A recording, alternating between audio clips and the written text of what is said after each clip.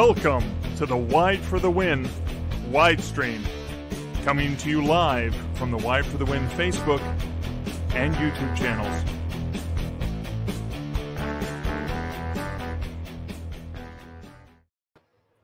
Well, hello and welcome to the wide stream. Uh, Mark and Susie here. We are here to just, just sort of answer any questions you may have. This is, uh, and, and of course, I changed the banner and then and then I didn't save it properly. This is ask us anything. He types and hits save, and then he pops it up on the screen. That's how, that's exactly how this works. If you have any questions that you're dying to know the answers to, just go ahead and post them over to Facebook or YouTube. If you haven't enabled Facebook with the uh, access to show your pretty picture and your name, just feel free to put your name in brackets so we can at least acknowledge your awesomeness, you and your awesomeness there. Oh, Give credit where credit is due. yeah, exactly. If you're asking a great question, I'm sure there's other people cheering you on, going, please, thank you so much for asking that. I wanted to know. You know what I want to know, Susie? What? You know what I want to know? I want to know. So, so you you write romance, right? And and and all the rest of us who don't write romance get jealous of romance writers because, you know, I mean, romance is by far the oh, most Oh, popular read. You know, because romance readers are, oh, God bless them. Romance readers are so lovely. They read like six books a day on average. Yeah. oh, maybe not that many, but there are a But- few.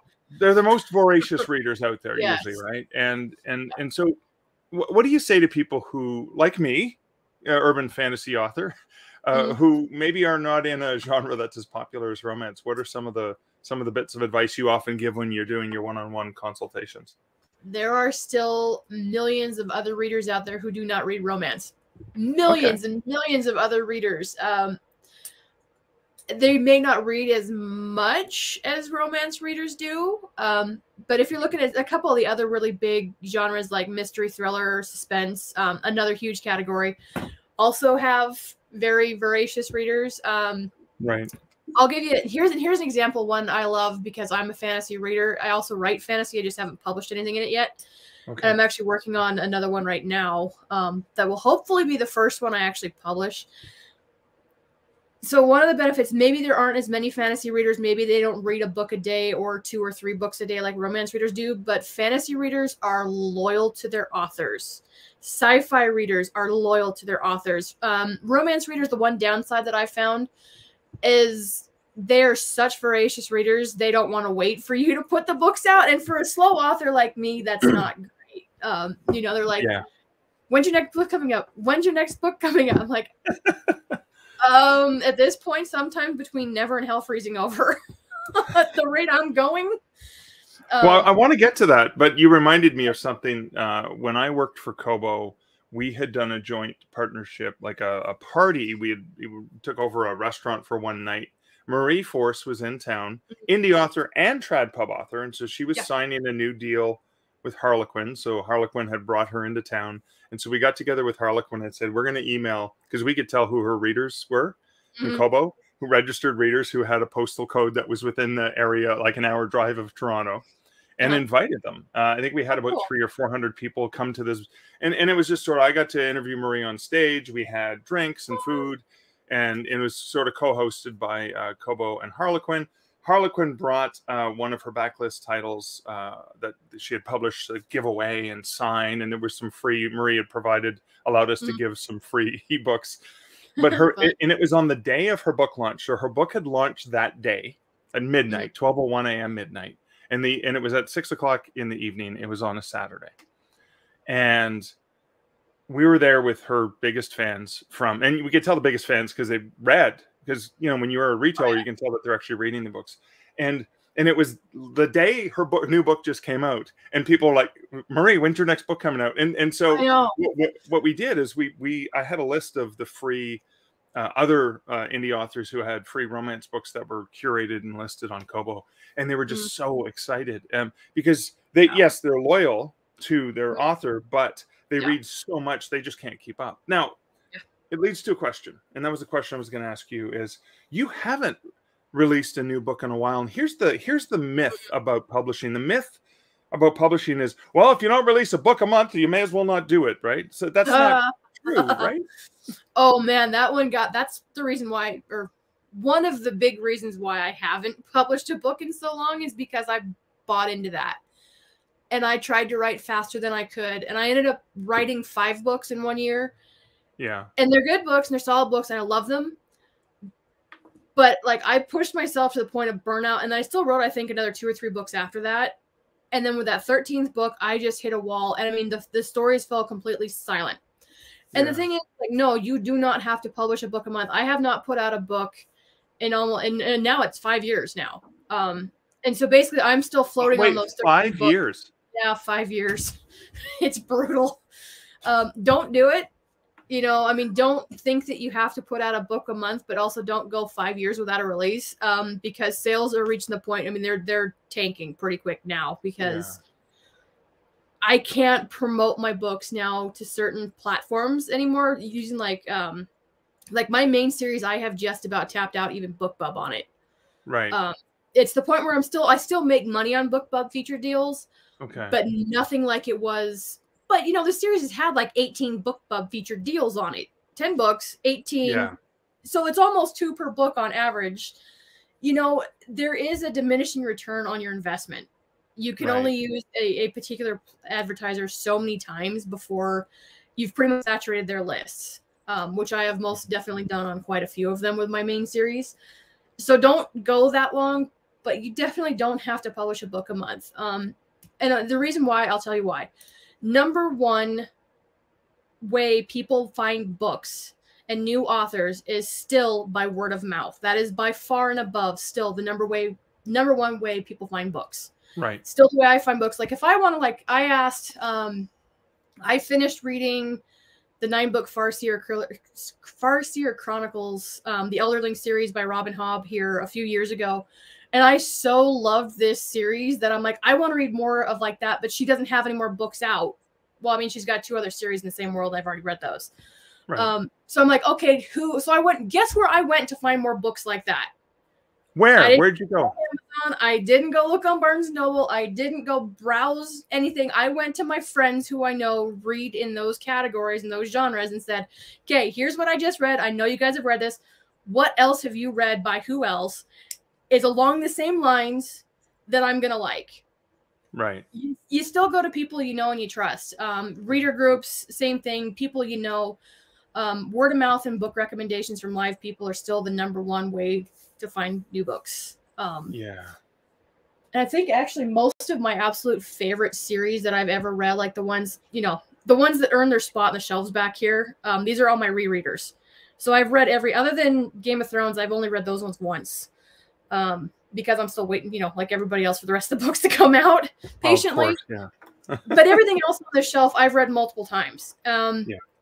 And just about, I think, with the exception of maybe one one series on this shelf, I have found, and that was actually um, Leigh Bardugo's um, Shadow and Bone series. Okay. And that one I wanted to read it before the Netflix series came out. Yeah. Um, so Yeah. every other one on this shelf back here was recommended by a friend or family member or somebody I know I've chatted with about books and I trusted their recommendations. okay. So, um, and my story about it not publishing a book in five years is still very much word of mouth. Um, I don't do a whole lot of advertising anymore on my books because it's throwing good money after bad because I've saturated so many yeah. of the newsletter services out there that it's like yeah, and bringing in new readers in- readers is not going to necessarily uh, because there's nothing new for them for your fans to, to, to- exactly. to get to. So, so we But have I a lot get- of follow-ups related to that. A couple of them are, I think, uh, somebody is like, "It's coming out soon." Yes, it's coming out soon. and yes, we're soon. Have rooting for you, Susie. And so th- there's sort of some questions and comments related to that. And the first one here is from a Facebook user that Mm. says, "A good short can work wonders for keeping your readers engaged until you can get a full book out to them." That, and that is a strategy, isn't it? You want to talk a little it bit is a about that? strategy definitely um and i should have used it more often i just but again you bought you buy i bought into that whole you have to write a book like a full book a month or whatever or I have to do it faster than i actually physically or creatively could. So i kind of got away from the short stories um and now i've sort of i haven't forgotten how to write them. It's just been so long since i've actually written a short story that i'm like oh that's that's gonna be pulling some writing muscles i haven't used in a long time. That's gonna hurt. You Yeah, know? no kidding. um, So But, I guess the, yeah. The next follow up or, or, or related to that is so uh, another person, or it could be the same person. We don't know. really awesome, smart person asked: Is a book release a year, uh, uh, a year, or every two years workable? And and I'm gonna I'm gonna start off with that initially because Mm-hmm. in the traditional publishing world, that is the standard model for most big authors. Like the someone's coming home, I can hear the dog barking, so I'm gonna probably mute that in a second. It. I'll let you handle this, and then I'll come back to it. Okay. All right, I'm going to continue on where Mark started. Um, yeah, that was the traditional publishing model.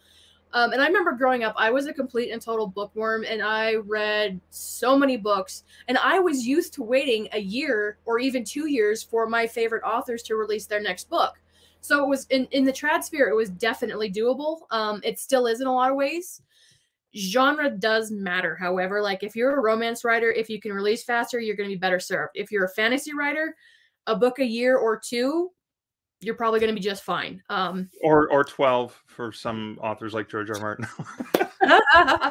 well, yeah, there's a good example, but again, but he has a following, and they'll wait, right? does have following. Yeah, but how did he build that following? Well, number one, he's got a trad house pushing his books. But even so, they're good books. They're solidly written. People recommended them to their friends who they thought would enjoy the books.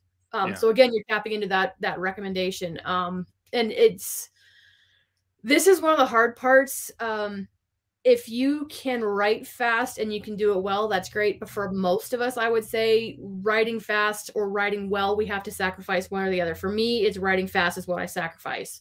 Yeah. So I'd rather write well. And the reason being is because it's a lot easier to tap into that reader recommendation with a solid book than it is one that's put together in a hurry. You know, that you haven't taken as much time with as you want to. yeah. Um, and that's, you know, five years later, that's why I still have people sending me emails like, oh, my friend so and so recommended your books and I just devoured the whole series. I'm like, when's the next one coming out? Yeah, about that. you know, well, but that but that's a good indicator because you have a newsletter Yeah. and they have a way to reach out to you. So you still have a way to Mm-hmm. communicate with them, even if it is an apology. I'm very Canadian in that way. So- oh, but I think God, yeah, I'm still that ahead. way too. Yeah. Oh, I'm not Canadian and I'm still that way. I'm like, I'm so sorry it's taken me five years to get a book out. but flip side of that is, is I with my newsletter, I actually keep my readers very engaged with um, stories from. I was uh, my husband and I worked on a ranch for three years. That just ended here shortly, but I still have two cows and now a calf. So I've got a herd of three cows. So I'm still sharing stories like that, and they connect to my books. right. So I have a lot of people who will email me if I don't send out a newsletter in a month or two, and they're like, "Are you okay?" I'm like, "Yeah, I'm fine. Just trying to write a book." well, so that's almost cats? like the short, right? You're Yeah. satisfying the readers by Yeah. providing them content content Mhm. that's related to something they Yeah. like about your the you know the Exactly. the, the, the setting, etc. And and oh, now I'm gonna have to let a cat out in a second because the cat's trapped inside the room and now wants out. Anyway, they all want to see Liz. They don't want to see me. Apparently, the animals. Um, but this is the thing that I think that's really important is, you know, you burned yourself out because you you pushed really, really hard, really, really hard. You do have a long term strategy for that. Unfortunately, you built a Mm-hmm. great base that's going to help carry you forward. But set an expectation for the reader. If that expectation is a book every year or a book every 2 Mhm. years, and you're consistent in that, you're not going to disappoint the readers. But if you do start off with a bang, and and I think we had um, Juliet uh, and Banks uh, Mhm. uh, uh, on a few weeks ago talking uh, about this. She set up in advance a bunch of releases, but she also set up a pre-schedule and Mhm. has managed to to sort of keep it up. Um, but you know, whereas I I tend to only release something every maybe in, in a series every six months to a year, and I've never been that faster than that. Yeah. And so my readers, while they may be disappointed that you know it's not quicker, and they always like you know the readers want it next. uh, They finish the book you know the day it comes out or the two days after it comes out, and they want the next one you know, but I've never done that. I've always just said, nah, you know, it's coming out. Like I got the book just came out last week, Mhm. and uh, the next one's not coming out till next year, uh, February. So it's almost a full year. Uh, and Yeah. again, that's because well, A, I write other things, Mhm. and B, I work uh, 20 hours a week, you know, consulting. And so I'm not a full time writer. And and so I, I can't set a pace like that. Yeah. Oh. And that's, you know, the vast majority of authors are not full time writers and they can't. And they're looking at these people who are full time writers who are not only full time writers and have the time, but who also have that creative engine that they can just churn out book after book in short order. Most of us are not like that. Um, I would, it, the number of, I've talked to probably thousands of authors now, and very few of them are legitimately fast, high quality writers. Um, Yeah. there's just a certain personality set that is wired to do it that way. The rest of us are not, you know, and it's like it hurts me every time I hear, and I still hear not as much as, as I did a few years ago when I really burned out. Um, I burned out. I think I was at like the leading edge of mass author burnout, and there are so many authors I have seen that wrote great books that I loved, and they have since quit because they burned out so hard trying to write faster than they could. Um, so it, it still hurts me to hear people say, "Well, I can't write fast enough." Yes, you can. I would rather say, or I would say, it's more important to write consistently and release consistently a book a year than it is to write, you know, two books one year, six books the next year, no books for five years, like me. You know, um, it's a lot better to be consistent than it is to be fast. Um, Yeah. That makes sense. and like you said, building your reader expectations. If you don't think you can write more than a book every year or every two years, let your readers know that that you are a fa- you're, you're a slower writer, but because you like to immerse yourself in your books. You know, here's here's things you can say. I like to immerse myself in the story, and I want to give you the best quality book that I can. So it's going to take me some time, and with the exception of certain romance readers who just want to read a lot, um, even my romance readers are like, we don't care how long it takes you because we know the quality of books you write. We love your books. We will wait and make sure that you give us the best book that you can. We'd rather have the best book than the rushed book. yeah. So um, that's my actually my readers have been such huge support. It's incredible. Um, I think authors sometimes don't give readers enough benefit for that yeah. and the kind of support they give us just by they're like oh well i have to write books faster for them or they're going to forget about me i'm like if you've done your job of writing a good solid book your readers aren't going to forget you they're going to remember Yeah. you they're going to wait for your next book to come out Yeah. um, and they're going to continue supporting you you know because readers are awesome they really are and that was a question was from William Brinkman who said thank you for answering that. So I'm going to go back. We've gotten some great questions coming in. We are going to get to them. Well, at least the ones that we've got so far. Because Yeah. I'm going to go back to a question that was posted early on. Thanks for your Mm-hmm. patience, Troy. But Troy posted this question.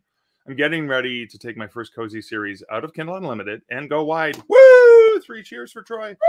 I'm debating on going full with draft to digital, except Amazon. I want to be hands off as, possible. What are the benefits of D2D for letting them handle Kobo, Google? Um, okay, well, the first thing I want to advise you, regardless of how you publish, and I think, Troy, it's up to you to decide this, and, and Susie and I will talk about the pros and cons, is when you're publishing your books wide, please use the original publication date. Don't pretend that March 2023 is the publication date. Uh, there are retailers that get really upset. And the reason they get upset is because it's like deceiving their customers that their customers Yeah. believe it's a new book. Now, as we know, Robin Hobb example, etc. A new book is a book you haven't read yet. So who cares if it originally came out in 2020 mm-hmm. or 2019 or whatever because it was on another platform? It may be new to Apple and Kobo and Barnes and Noble, for example, but just use the original publication date and you will win lots of brownie points with the retailers who will see you as an adamant professional. That's something I just want to stick in there. Now, good advice in terms of draft to digital versus going direct to some of the other platforms, so the first thing is Google Play, that isn't an option. Google Play, you you can go through some distributors to get to Google Play, but to be quite honest, the way Google makes you do it is you have to go create a Google Play account anyways. So Yeah. you're there anyways. Just do it. There's no point. And Google Play has some really great promotional tools, including coupon codes, right? In your series, at the end of book Mhm. one, you have a coupon code that you generate on Google and you put it at the end of the Google book. And that way you once you got them in the ecosystem, you're good to go there. Yeah. Um but their, their, their interface is pretty easy to use too so it's oh, not it's way better. It's Yeah. it's it's it's dramatically much better improved. be, yeah Yeah, now I go direct to Kobo. I, you know, I'm a little biased about Kobo because I work for Kobo. I helped create the Kobo Writing Life platform. So, uh, you know, I by default I typically go direct to Kobo. Uh, and then I use Draft2Digital for Apple, Barnes & Noble, Vivlio, Tolino, and all the library systems uh, just to make life easier. There are authors who will choose, well, it's a 10% difference and you don't get access to some of the promotions that you would get if you're direct, right? So it's, it's you know, your, your decision there. So it's a combination that you have to decide, is it worth it for me to go Mhm. direct to every single platform? And, and so right now I'm running a promo where I had to drop my, drop my price. Well, I pre-scheduled the price on Kobo Writing Life. I pre-scheduled the Kobo uh, the price on Draft2Digital. I pre-scheduled the price drop on Google Play because those platforms allow me to do it. Amazon doesn't let you pre-schedule prices. Uh, they only let you do some scheduling when you're exclusive, only on those, you know, Mhm. the, the, the little deal like the, the free and stuff like that. But when you for any other price change, you can't pre-schedule them. You have to go and do them live. And so the more pla- the more promos you do, the more times you have to remember to go to every platform and change it. It seems like a small thing, but if you're running consecutive promos back to back every month and you're doing like you know what Susie and Aaron often uh, talk about where you've you've got like a different promo running every six weeks right and you're constantly rotating through some stuff that can be tedious and that can get frustrating and that extra 10 minutes here and 10 minutes there may not be worth it so i can't make that decision for you what do you what do you say about about this sort of idea susie Um, judging that he says he wants to be as hands off as possible, I would say, um, yeah, direct is on in Google Play just because you kind of have to be half direct to Google anyhow. Um, and then the rest of them, I think you'd be great going D to D. Um, that for me, it's it's definitely time versus money. It's like, is it worth the extra ten percent income, or would you rather have the time freed up, the lack of headache, the fewer places to have to manage? Um, and like you said about the pricing you know, or if you're going to update your backlist, um, even 13 books, if I want to update covers, like if I decide I'm going to revamp my covers um, to try and generate more sales while I take time writing another book, um, that means I have Streetlib, I have Draft2Digital, I have Smashwords, hopefully not very much longer. Um, Publish Drive, I've got Amazon, Apple, Barnes & Noble, Kobo, Google Play. That's nine places that I oh have Oh my god nine file. places wow nine places so that takes time um and if you're and that's not even the other platforms right like radish or, or if, you, Oh. if you're doing other things or direct selling right that that's okay so this is the number one hardest thing about being wide as an author is the sheer number of places that you have to number one learn about number two manage. Um so if if you already know that you don't want to have to deal with managing all those other places then by all means that extra 10% that you're paying to draft a digital to manage it for you is highly worth it totally worth it 100% if you're like me and you like that extra 10% and you like to have complete control because you're a control freak by all means go direct. Um there are times though that even i'm like i would seriously give up that 10% just to not about the time that i update all my books and i only have 13 books. I can't imagine it being like someone like sky who's got 40 plus books out or some people who have like 70 or 80 books out. How the heck do they manage all that? Yeah. Um, and the answer I'm finding is you just don't update as often as you would when you only have a few books out, but still, um, it so yeah, it comes down to the time versus money. If your time is more important than that extra ten percent, by all means, use a distributor. If not, or try both right like Yeah, so for both. example like troy let's pretend you're going to do first free in series and you're going to want to promote the oh this is Not a very much control not a freak. control freak. that's good Love very it. much not a control freak there you go but i'm just gonna uh, here's a, here's one example Mm. um kobo has promotional opportunities when you're direct that you're not going to get through a distributor and and barnes noble also has um, them as well so Mhm. let's say you want to really promote the heck out of book one and you're going to want to take advantage of as many promotions because book one is a perma free title and you're constantly going to be hitting Yeah. promotions and well so maybe you publish book one direct because as many places as possible so you can do as much of that promo as possible and Mhm. then the other ones you don't because you can you can kind of maximize your work flow right Uh, rather than going okay so for this one title yeah i have to do a lot of extra work because i'm going to apply for all the different promos and stuff like that or or just say well i'm only going to apply if i can get a promo through d to d or whatever but that that just made me one thing but there's no one answer Mm. for every book i mean i use now I do typically go direct wherever where I can to at least Amazon and Kobo and Google Play. But uh, the book I just released last week is a payment splitting book, and I'm using them to publish to Amazon and Kobo. Right, the only place I'm not is uh, Google Play because I can't. And and if it was available, I would, and I would just use that. And that's because yeah, I don't, I, you know, there's a loss of 10% margin that, you know, I'm not earning the full 70%, I'm earning 60%, but Mm-hmm. Draft2Digital is doing payment splitting for me, and that headache alone is so magnificent. I Oh, never yeah. have to worry about it. The author, my co-author, gets paid directly. I get paid Yeah. directly. I don't have to do that math, and I like not having to do Mhm. math. Same here. That's that's if I ever do a if my little introverted self ever co-writes a book with somebody, I am definitely using D2D's payment splitting because Yeah. I don't want to handle any of that business.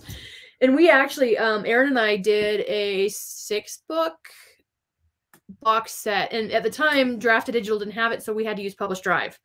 Right. Um, and just, I mean, Publish Drive isn't. well, Publish is- Drive gave you a calculator, didn't they? They didn't actually no, split the payments. when we they? did it, they actually handled all the payments. I mean, they oh, handled did all. they? the Did, did they do that?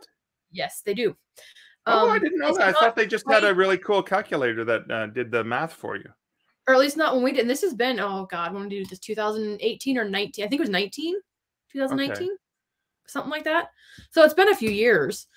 Um, but no, they actually handled all of it for us. It's not quite as seamless and as as user friendly as Draft2Digital's. Um, so when Drafted Digital announced theirs, I was like, yes, all right. And I had some issues actually getting my payment set up. There was um, their system threw a weird character in my banking account number. And so I didn't actually get paid for a couple of months, and trying to get that worked out with their customer service was a little iffy. But we did get it solved that that Right. solved. And just having that, I'm so glad we went through them instead of trying to do it ourselves because, oh, yeah, no, thank you. We I'll- should I'll probably this- see if we could get. We should probably see if we could get someone from Publish Drive to come on and, and chat, right? Just to get so that we can get some of those Yeah. answers, um, which would be kind of cool. Yeah, and I think you know, Publish Drive does reach a few places, quite a few places actually that draft digital, and some of the other ones don't. So I don't think they get quite as much love in our industry as they should. Um, so yeah, I'd love to chat with one of the reps if anybody's listening. Reach out. Yeah, sure. I don't know. We'll, we'll do a we'll do a live. I'll probably not interview them because of my the draft digital Hmm. hat that I often wear. They may feel uncomfortable with me.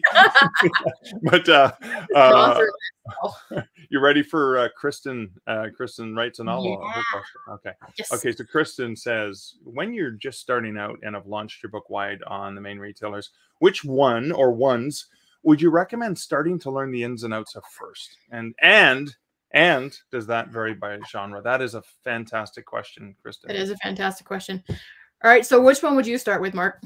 Well, I mean, pick one. Uh, so Mm. pick pick one, and and and so I'm Canadian, so I pick Kobo because Kobo is more popular in Canada and Australia, right? So that would be, uh, you know, uh, potentially there. There's a lot more action. There's a lot more. Mhm. Uh, the merchandising is more powerful and stuff like that. Maybe you're an Apple person, right? You just everything in your house is all Apple, right? Yeah. So maybe you go with Apple Books because you already have all the stuff, and because what you're going to want to do.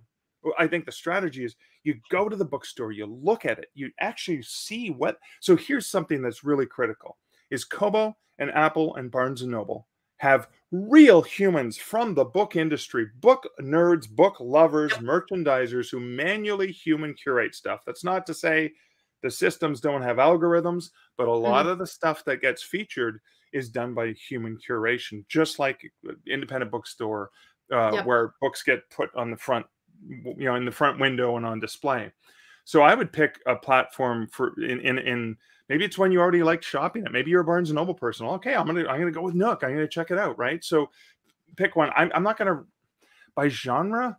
Okay so um eden books if you're a romance writer there's one to start with right? Mhm.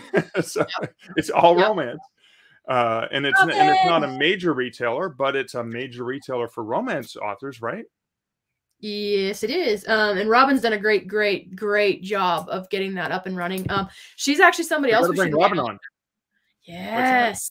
Yes. Um, I'm writing a note right now as we speak. Yes. Um, yeah, no, she's been great. Um, and it is very much it's it's a romance platform.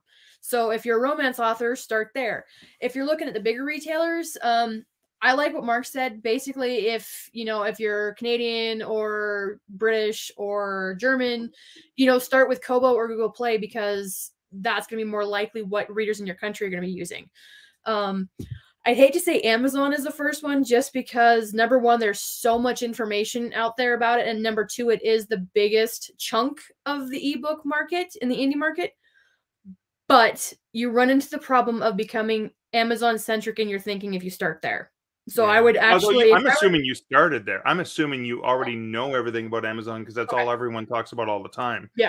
For brand new author who doesn't know, I I just oh I mean theoretically just because it is a bigger chunk I'd say start there but so many indie authors are so Amazon I mean even wide authors I catch myself doing it I've been at this 11 years now I catch myself doing it where I'm sitting here thinking about Amazon or how things work on Amazon rather than how they work on Apple or Barnes and Noble or Kobo or Google Play so I'd actually yeah, I mean, there's a lot of information out there, but I'm almost at this point saying start someplace else so you don't get locked into that mentality um, yeah.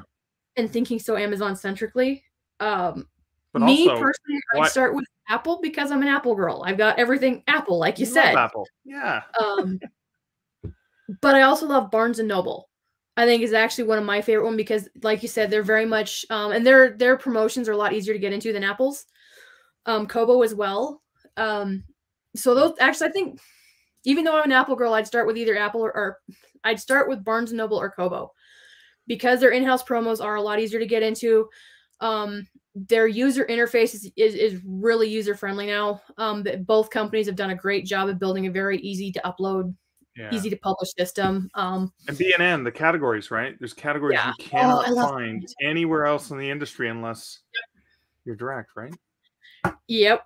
And one one thing we always tell authors, especially new authors, is no matter which one you want to start focusing on first, use it as both an author and as a reader. So download the Barnes Noble app, download the Kobo app, or get a Kobo e-reader. Kobo e-readers are great, yeah. by the way.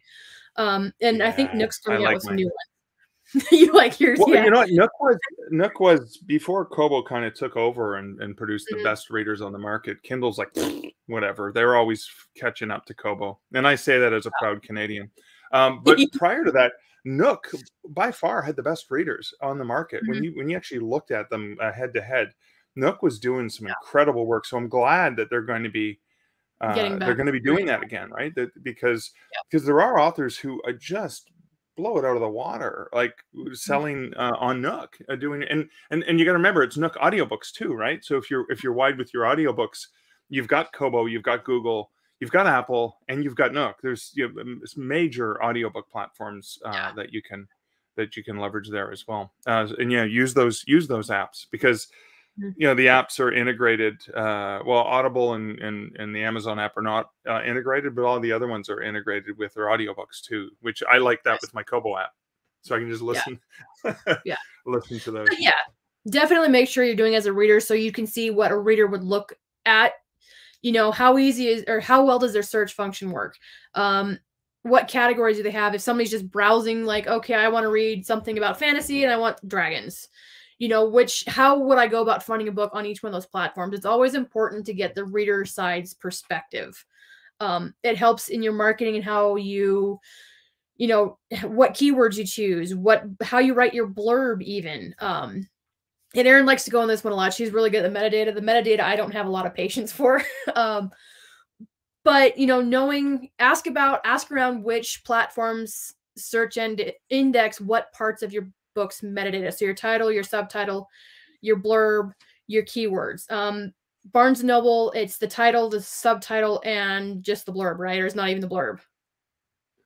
No, not even the blurb. But I mean, Kobo yeah. even takes your imprint and makes it searchable right? Yeah. So that's yeah, on top so. of your publisher name because you can have a publisher name but an imprint within your publishing company. Um, yeah. Yeah, there's so many, and that's it's, it's why it's great to really, if you have an opportunity, you know, the the retailers, the some of the distributors. I know Ingram Spark had a podcast, and Kobo Writing Life has a podcast. Listen to their podcasts. Listen to the reps when they're they're talking anywhere you, mm-hmm. We've done that Apple webinars, right? Mm-hmm. Um, it's really yeah. worthwhile because you can really you can just pick a little nugget here and a little nugget there, right? Um, that can go yeah. a long way.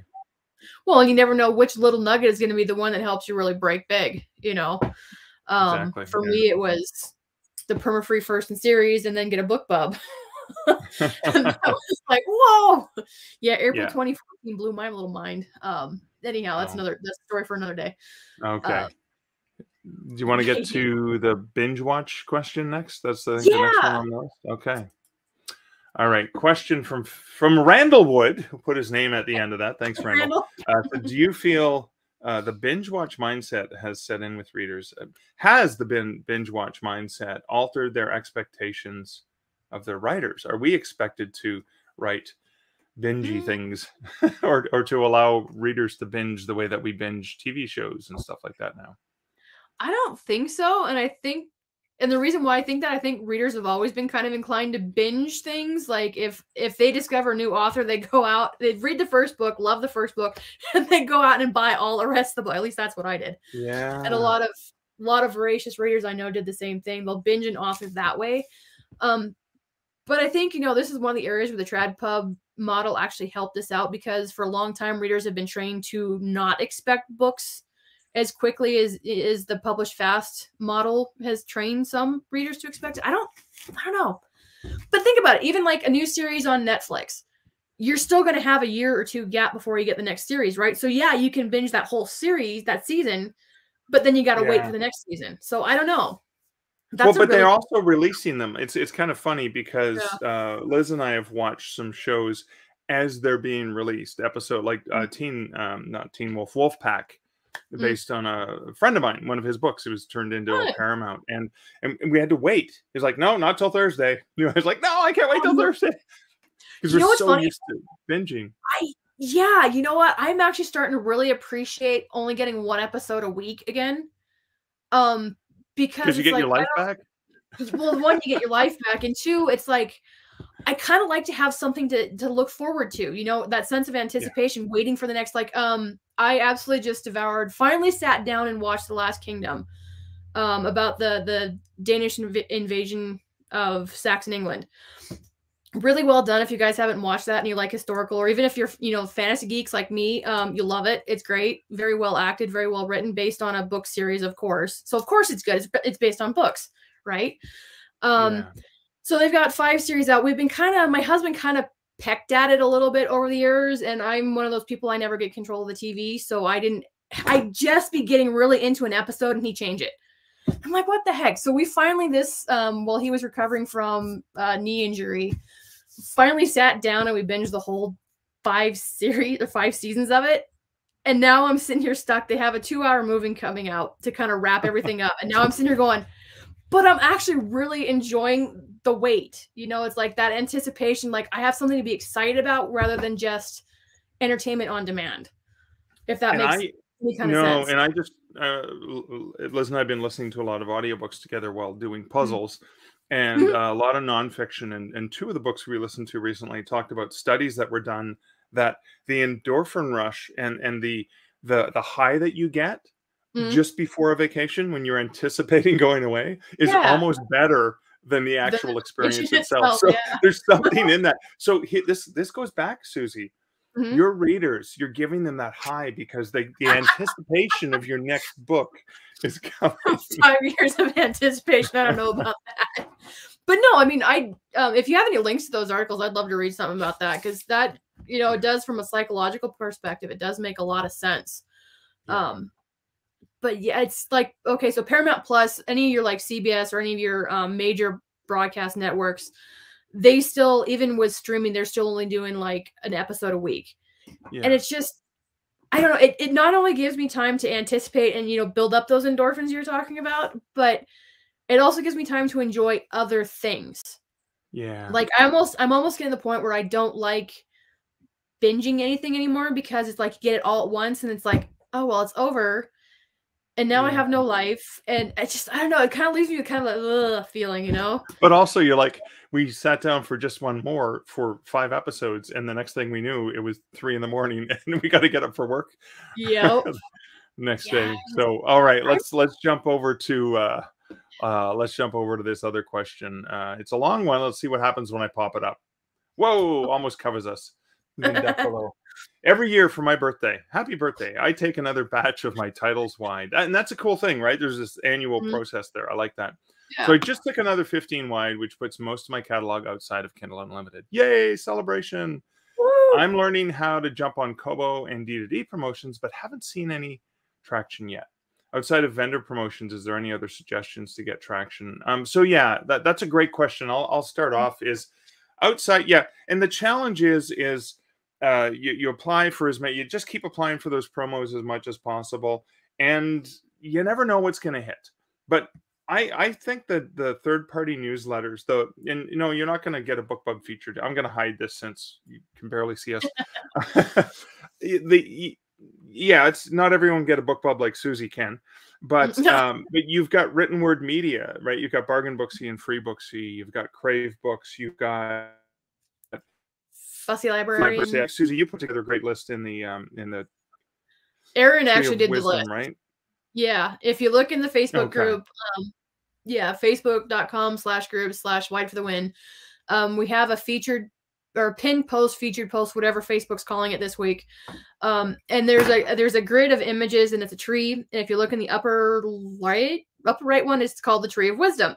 And some are buried in all those, you know, dozens and dozens of helpful posts, you will find a list um, that Erin put together through a lot of i mean she's gathered lists not only the ones that she's used but also that other authors have used and recommended and it is huge. Um, and most of them on the list are fairly small and you're only going to see you know 20 30 40 50 maybe a couple hundred extra downloads on a free book maybe 10 to 15 more sales but they're cheap Yeah. and you can stack a bunch of those together and they add up um so yeah i mean there's paid newsletter that's that's what we refer to as paid newsletter services or paid newsletter promos yeah. um, and basically, what those are is you are paying to have your book advertised in somebody's mailing list. Um, so they have a list of readers that they've curated who are looking for books, um, usually books at discount.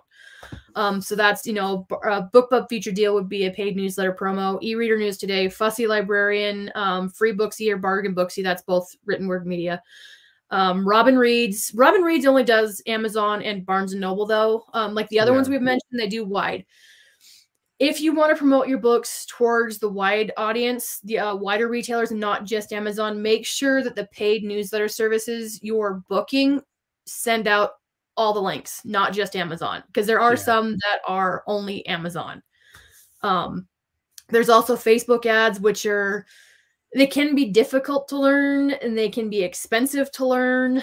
Um, BookBub ads, same thing. It's the CPC or cost per click method, um, where you're it's an auction basically so Yeah. you're competing against other bidders um they can be i mean there are plenty of authors who have made a ton of money doing it and they've really kind of honed in their skills but it, it's it's one i call more of an advanced marketing strategy yeah. because it does take a lot more time and money to learn them and learn them well um i And run David Gaughran has a great a great Yes. book on BookBub ads. Um, I was watching him do a talk at Novelist. You, you probably have it on the shelf behind you. I had it on the shelf and i had a leak in here back before we, had we had to replace where i used to have my little Oh, I always use David Gaughran's books to, to Yeah. soak up the water, right? Is that that's what you did? I like that book. Dang it. Um, I still have a Stranger to Superfans. It survived the leak. Um, Oh, that's a but great no, book I have too, that yeah. one. Um, yeah, definitely check out his book. It's it's chock full of great information. It'll help you get started on the right foot with BookBub ads. Um, I don't know if he's it's been it's it's a few years old now. Um, I'm kind of hoping he might put out an update. I'm I'm sure that the strategies and and what he Yeah. walks you through has. I mean, there's a few more features available, but um, I'm, Yeah. it's pretty it's pretty on point still with with what I remember. Uh, Because I haven't tried BookBub ads in a while, so I couldn't.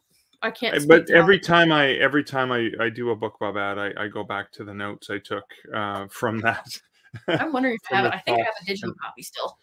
And, and the Um, books. Yeah, Yeah. Um, and again, word of mouth. Um, if if your readers, you know, if you have a newsletter following, say, hey, you know, anytime you have a sale, you can ask your readers, hey, you know, if you have friends or family who you think would enjoy my books, let them know I've got a sale coming up on on X book.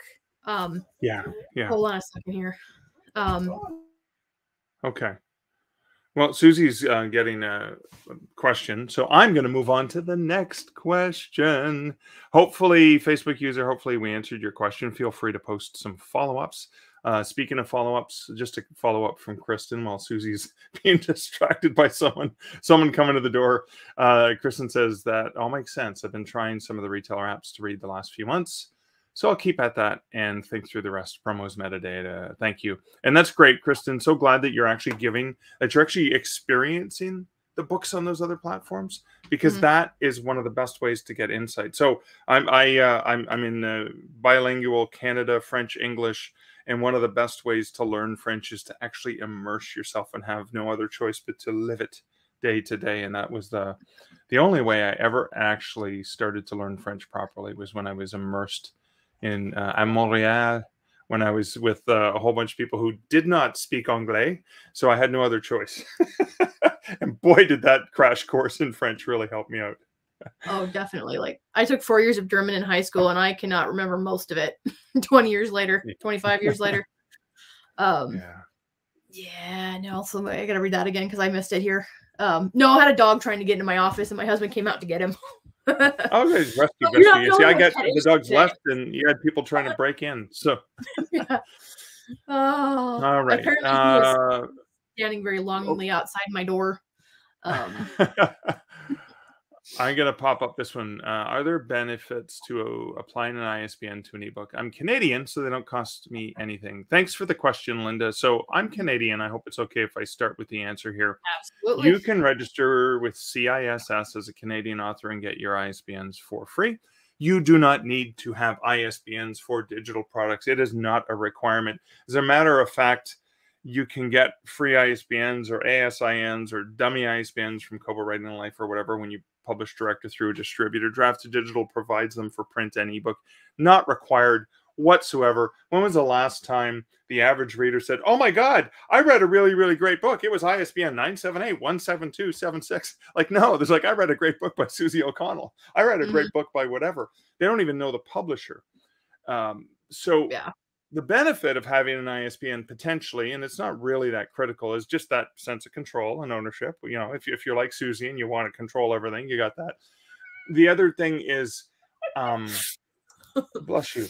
I put because I, I, was a bookseller for 20 plus years, right? And I would continually work in the book industry, but actually managing and, and working at bookstores.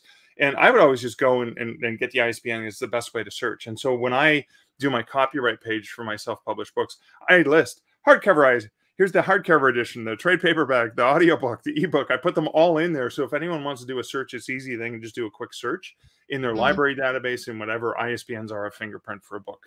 And so if you're using the free ISBNs from the various services, there there may be numerous numbers, and that could be confusing.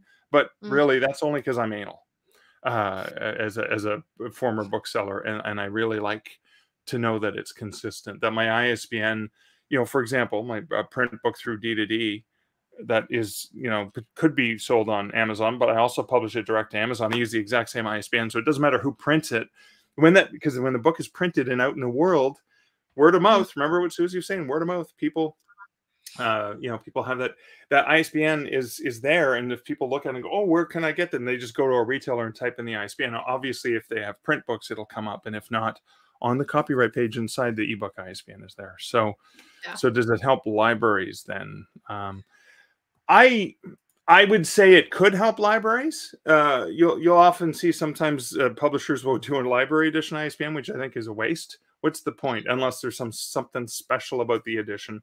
Uh, but I, I I do like the idea because when I send uh, PDFs to a library that say, "Hey, I've got a new book out in this series." I provide the ISBN and the little thumbnails mm-hmm. for all the rest of the backlist because I know I want to make it as easy as possible for the librarian to go to Overdrive or Hoopla or Baker and Taylor or Bibliotheca or mm-hmm. BorrowBox or whatever library system they use and just type it in and see, oh yeah, it is available. I'm going to order it. I want to make it as easy as possible. Yeah.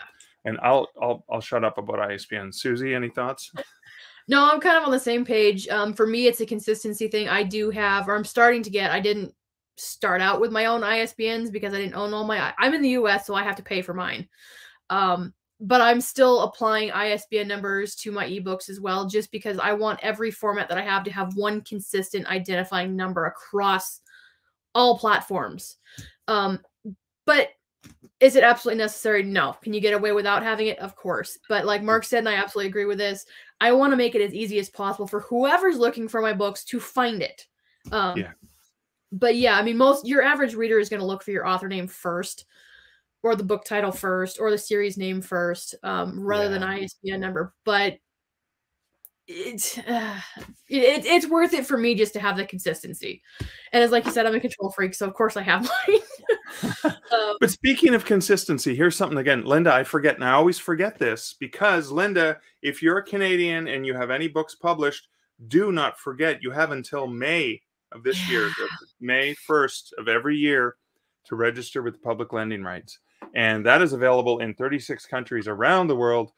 Not the U.S. so of A, but if you're in the UK, Australia, New Zealand, you know, a whole bunch of countries around the world, 36 of them, in fact, just not the US, um, you can get access. Uh, so in Canada, I just filled out my forms. You have to mail them in, you have to register online and then mail them in, and you, you write down the ISBNs. So do, do you want to have to write down six different ISBNs for one book? Because you al- you also have to. This is how funny it is. You actually provide a photocopy of the copyright page and the table of contents and the title page with every book that you submit. So do you want to have to do that four times or once for the same book? So Yeah. Oh, and you're going to do it this year! Yay! Congratulations! Please do it Yeah. this year, please. If if you are Canadian, it is a phenomenal program. Thank you, good people at Canada Council for the Arts. No kidding. I wish the US had something like that because it sounds so amazing. I mean, not not only for authors but for readers as well. Um, yeah, so that that whole consistency, and the other thing for me too with ISBNs on ebooks is it's just one more layer of professionalism. Um, It's one more thing that hey, I'm a serious author. You know, I'm just I'm not some bot out there who's throwing a bunch of AI generated content into a book and hope it sells. You know, I'm an actual author. This is my passion. This is what I want to do. So yeah, you bet your butt I'm gonna do as much. I'm gonna, I'm gonna add as much professionalism as I can, and that's just like I say, one more layer of it. Um, Yeah, I love so, that. Yay! Yay! so uh, great questions, guys. Great. I just I don't think I've missed any questions yet. I'm Correct just me scanning I'm through and seeing. So I'm scrolling back up, but we've got about eight minutes left. So, uh, great questions. I'm glad you guys asked those questions. It's really important, and, and and I don't care if it seems like a, a basic question or something that you believe has probably been talked about before. It is so important that we as authors are willing to share and talk about and and and and go through questions because a um, other people probably don't know, and just by Mhm. asking it, you're helping, and b Yep. uh, uh, things change over time too, right? So you know, a question that you know uh, even six months ago might things might have changed. You never mm-hmm. know. Well, and, and even yeah. people like me and you have been in this indus- industry for years, you know, there's still stuff that we're so used to thinking about and doing that it's no longer a conscious process anymore. So it's nice to have that reminder for us, like, oh crud, I need to go check my cat or my categories on Barnes and Noble and make sure I actually have my books in the right ones because I haven't done that in a while. Maybe they've added some more categories. Yeah. You know, so I mean, even even what you think is the most basic question that you think, oh God, everybody's already asked that one. I'm just I can't find the answer. I'm sure it's out there, but I can't find it. Ask it anyhow because you never know. It may be something that nobody's asked or has not asked in that way that makes us think of it in new ways. Um, Yeah. It might remind me. It might help me by reminding me of something that I need to do. It might be, you know, 20 other people are thinking the exact same thing, like, oh God, I don't want to ask that. But they want to know. So yeah, by all means, don't don't don't be shy. Ask your questions, whatever they may be. yeah. And then, and speaking of which, just in time, we got a new question. Awesome. All right, so Katie, uh, Katie asks, uh, uh, is there still an affiliate program option for Barnes and Noble or Google Play? I've been struggling. Um, I know the Google Play still has one, and it's just not easy because it's not managed by Google. One it's through a, it's the Yeah, same third party company weird. that is it the same one that Apple? I can't remember it, but it was really complicated. I that's all I can tell you. And I want to say Barnes and Nobles is kind of hard to get into too, isn't it? I you know honestly I, haven't don't know. tried. I gave up on even Amazon's affiliate uh, program because it, for me, it ended up it became such a hassle trying to manage it that it was Yeah. taking time away from actually writing my books. Yeah, So, that's a ooh, question. here's a really uh, good one. What's that? There's another good question I want to get to before we close out. So don't okay, forget. yeah. This Hey, Yeah. maybe drop that in the in the group, and maybe there's somebody Yeah. else out there in the awesome community that can probably answer that for you. Apologies that we Mm-hmm. couldn't get to it. So, uh, yeah, um, Juliet. Hey, Juliet. Good morning, Juliet. Or yeah, it's late morning for you. Uh, uh, I'd love to know if it's safe to go direct with Barnes Noble. Can we do a poll in the group? People outside the U.S. Uh, what I guess. So, what do you mean safe uh, to go with B&N? We were actually just talking about Barnes and Noble this morning in our board meeting. Um, and I this kind of resonates back with that. Um, good morning, I slept in.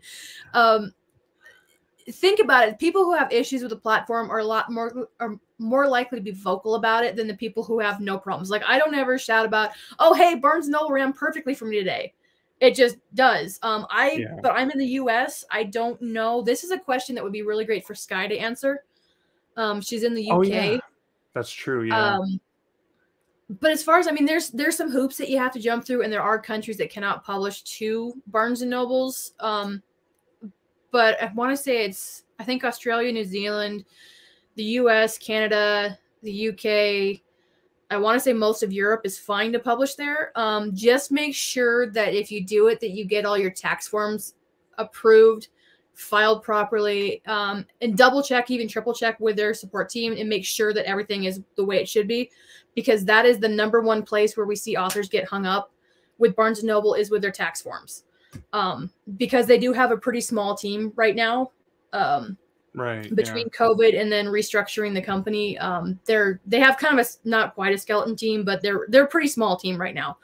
yeah. So you know, be patient, be understanding, be diligent. You know, check back in with them and make sure that everything is set up. Um, once you're set up and you're publishing books, generally things are pretty dang smooth at Barnes Noble. Um, and it's it's one of the ones that we usually recommend people go direct to just because of the promotions that you can get Yeah. into um and it is a pretty pretty big at least in the us um you know of course it's a us only bookseller but i mean they're one of the biggest ones in the us yeah. Um, so it's it, it is a benefit to go direct. Um just make sure your, all your t's are crossed and your i's are dotted before you go plowing into it i guess. Um Yeah, and and I think there's a question about nervous about not getting paid at this point, and and I wanna I wanna first talk about the will the sales dip to start. If you've pulled your books down from one one way of publishing and go and publish another way, you're probably going to have a dip in sales initially mm. because it's a whole new book again. Yeah. You're starting from scratch, unless they did some magic and transferred all your reviews, but still the ratings and rankings are probably still a new record. So you are always going to get a, a dip. So don't panic when that happens because think long term. In the long term, is this better for me? Um, being Navis. uh, So I, I honestly, yes, there's always going to be technical glitches. When I worked at Kobo, there were technical glitches where, Yeah. you know, it was like somebody didn't get paid for this reason, but you know, it's not that it was not done out of maliciousness or whatever. It just didn't happen. But Barnes and Noble has never not paid people. Yes, there's been tech Yeah. issues, just like everyone has tech issues, right? Whoa, the banking didn't work. We, you know, Mhm. uh, the whatever. Um, fill out those tax forms. Those are critical, Yeah. especially I'm Canadian. And if you are in um, a treaty country to the America, if you're not in a treaty country, there's a 30% withholding unless you can prove you're, you know, Canadian citizen or UK citizen or Mhm. whatever. And that's really, those tax forms are so important. And you got to fill them out every two years. So uh, don't ignore them because that's 30%. Like the, we, I didn't even have that option when I, because I was self-publishing on Smashwords, American company, and Kindle, the only two options that existed in 2009 or would- uh, Mhm. eight or seven or whenever I first started doing it. And there was no tax form to prove that I was Canadian. I was only getting seven dollars for every ten dollars I made. Right? I was only, uh, or they were holding withholding thirty percent. Um, So it, it that didn't come along till a few years later that I actually could get rid of the withholding. prove it yeah um, but yeah, I don't know. I mean, I and if there's an issue, we know there's good people that work there. They're not gonna, you know, they're not gonna leave you stranded. It may take a while if there is an issue, but they will help you get it resolved. We have confidence. i would say I have confidence. yeah and from the authors i've talked to 90% of the problems with getting paid is number one if you haven't reached the pay threshold Okay, we're gonna we're gonna assume you already have. So you have made enough money there. You're gonna get paid. So it's the tax forms. Um, either they need to be updated or they're not filed properly or something's missing on it. And the other one is make sure that your banking information is absolutely correct. Um, Yeah. That one I haven't seen that one. It's almost I'd say probably four times out of five. It's it's the tax forms. They're the Yeah. issue, and there's no way their system isn't set up to notify you. So that's something. Go into your account that you created. Check your tax forms. If you have any questions at all, email their support team. Um, it's just support at bn.com Yeah. really easy to remember. Um, I think it there's a lot more fear in the indie community and even in Wide for the Win about Barnes and Noble not paying because so many people shout about it instead of you know asking one of the admins. I mean, we'll tell you who to contact at Barnes and Noble. You know, we'll tell you, okay, no, don't worry about this here. Check this place first, this place. Um, so you hear a lot of shouting, and I don't think the problem is anywhere near as prevalent as it sounds. Um, Yeah. If that makes sense Yeah. it's kind of like you know when a crowd of people who do you hear the people whispering in the back or the person who's shouting up front you know um Exactly. i think you just hear it because people are a little bit louder about it um Yeah. and kind of the you know once you, you see one person's like oh wait a minute i had a payment problem too and then that person jumps on board what the first person says and it just it kind of brings it up so i will be honest i've had payment issues twice with barnes and noble and both times it was because of my stupid tax form because I wasn't paying attention that it was that rolled around here. It was time to update it again. And you know what? I sent my tax form in. They took care of it pretty dang quickly within a couple of weeks, and I got paid both both that Yep. month and the previous month in the next pay period.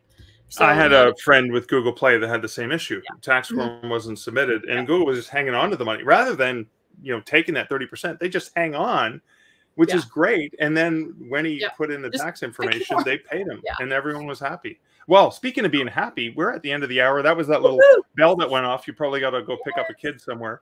But yep, that um, was my wrap it up. so I wrapped uh, yeah, uh, Kristen loves the Q and A's. Thanks for doing them. We love doing them too, and thank you guys so Yeah. much for your questions. So Yep. this is Mark and Susie wishing you great wide publishing success. yes. Happy Wide Wednesday. Thanks for watching.